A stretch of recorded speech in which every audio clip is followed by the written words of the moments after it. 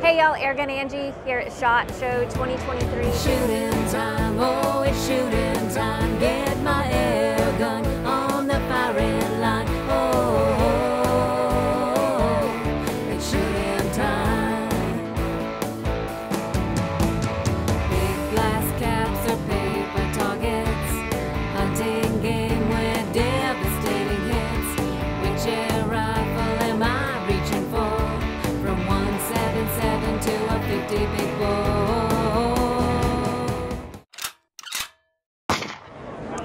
Airgun Angie. I'm here with Bill at Skout Airguns. He's the owner, so he's gonna know everything about this, and he's here to tell us. What do you got, Bill? Well, we'll start out with the valve. It's a very unique valve system. So this is the valve in the gun. It pulls off the surface 45 thousandths of an inch. Now, it has a 400 thousandths orifice, which is very large for an air gun. Most air guns, if you had that size orifice to open the valve, you'd need a sledgehammer. So basically, the trick to an air rifle, in our opinion, is get the valve open quickly and get the valve closed quickly so you get a very crisp shot. There's very little to go wrong because this is our only moving piece. So there's no sear in the gun, there's no hammer in the gun. Oh, wow. There's almost, it's, it's really simple. On top of that, our regulators. So this is the low pressure regulator, which regulates to about 170, 100 to 175 psi. It's adjustable, and that's adjusting the pop from the solenoid to open the valve. It's not the only adjustment. The other piece of that adjustment is an electronic adjustment called dwell, which is how long that valve stays open. Our second regulator is a high pressure regulator. It's unique though in that with most air rifles, you need to degas the plenum before you uh, adjust the regulator in one direction. Right. Ours are designed, balancing regulator uses a small amount of air from one side of the piston and pops it to the other side of the piston, and that allows you to actually turn this up and down at will without having to degas. Sweet. That's amazing. On four of these bolts to the air chamber sits back here, you're in the valve within three and a half minutes. So it's Wow. very easy to work on. Super simple. Now, so the barrels come in 25 inch and 35 inch. For most air gunners, that's 625 millimeters or not or 889 millimeters, the long barrel. Uh, every gun comes with a compensator. We have a, num- a large number of ports and angles that dump the gases back into this tube. But beyond that, we also have an element within the compensator that changes for caliber. So we have a shredder Wow. okay? And this is the 30 cal. So you would replace the shredder for the different calibers, and then the, the rear piece here that takes your probe to change your um, your caliber. It lets you tune the barrel to the pellet as well as tune the gun.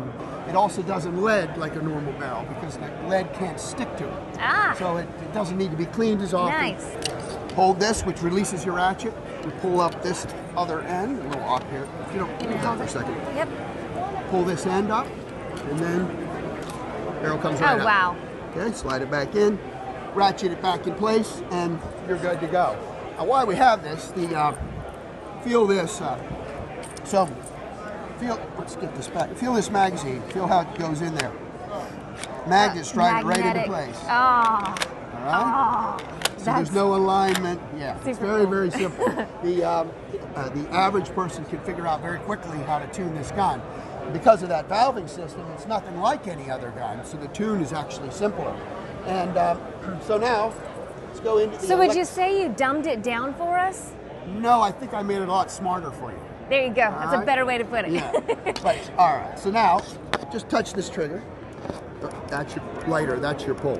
wow. Let me turn it on so you can hear it. So it talks to you, of course. All right, so all the Very cool. As you make your settings, it'll tell you, feed, it'll give you feedback. It'll also give you uh, feedback, for example, fire fault, because see, it knows the bolt's open. It now knows the bolt's closed. And to make, now feel this trigger now, feel how light it is. To make that safe, we have to make that safe. So there's an actuator switch here that you have to hit before you can fire the gun. So basically you hit this, then you can pull. All right, and that way if you're hunting, we have three modes. We have hunt, match, and limit. So in hunt mode, you have to hit this every time. So if you're walking through the woods, you don't accidentally hit your trigger and fire. In a um, in a um, match mode, say we're shooting bench 25 minutes, we can set that timer for 25 minutes. It'll stay on. And Oh then a limit mode allows you to set your own time. Say you wanted it to be a two minute window. You could set that up for whatever window you need. On top of that, other features um, that you might appreciate if a gun sits for half an hour, 15 minutes, half an hour, there's what we call we call it stiction, but it's um, basically the O-rings take a set, and the first shot tends to be a little bit different than the following shots. Okay. So we give you a programming capability called first shot drop, and what that does is it, it's, it gives you a time you set, and then on that first shot it adds four milliseconds of dwell fire or additional push to the solenoid, so you can overcome that that friction and actually count on your first shot.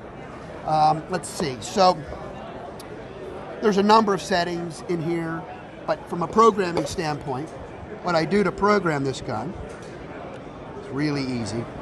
Turn it off. All right. I hold this button in and power with the bolt open. I hold this button in and power up. Now I'm into my menus, and as I hit this button, it'll cycle through the different Oh wow. and this is the dwell setting. It's now at 22 to the menu mode, and then shut it down, and it, it remembers all the settings. So that's pretty.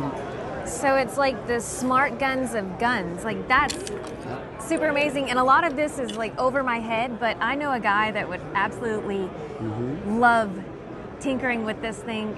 Rick Utzler from Airgun Web. Really? He, he right. yeah, he's he'd love it. And I, have I a- would love checking it out too. But a lot of this stuff, I'm like, overload. There's so much awesomeness here, guys. All the tools you'll need for the gun. You get an Allen kit. You get the special grease. This is the place for your magazine. Mags. And then, of course, you get. Come on. Yes, yes. We give you lots of extra spares O-rings. We only use urethane O-rings. It's a big deal if you you know the difference between buna O-ring and urethane. Give you an extra spring for your magazine. Special tools for taking your barrel and your valve out, and a charging port. Oh, from the battery standpoint. So, the, so one charge of a battery, if you shot a thousand rounds a week, will last you over four months, and it takes 40 minutes to charge the battery. You might appreciate uh, pressures. So my favorite caliber is 30 caliber, 44 grain JSBs. Joe will appreciate that. Yeah, I love to shoot the 35 inch barrel because I can shoot those JSBs That's right. at 915 feet per second at basically 73 bar or 1,100 pounds per square inch in the plenum. That's Wow. extremely low. That low pressure makes the gun really smooth and quiet. And um, so we, we're able to achieve very low pressures because the valve's so large. What's the max fill pressure on the tank? 4,300. 4,300. Yep. Okay. Yes, 43. Oh, and uh, efficiency. Um, so we do our efficiency testing with 51.1 grain, 0.15 grain, 40 ca- uh, 30 caliber uh, not slugs, uh, pellets. We get a, we get 100 shots. Nice. So that gives you a feel for that's that's pretty efficient. Yeah, absolutely. Absolutely. Well, it sounds like you have some pretty awesome products there. I am.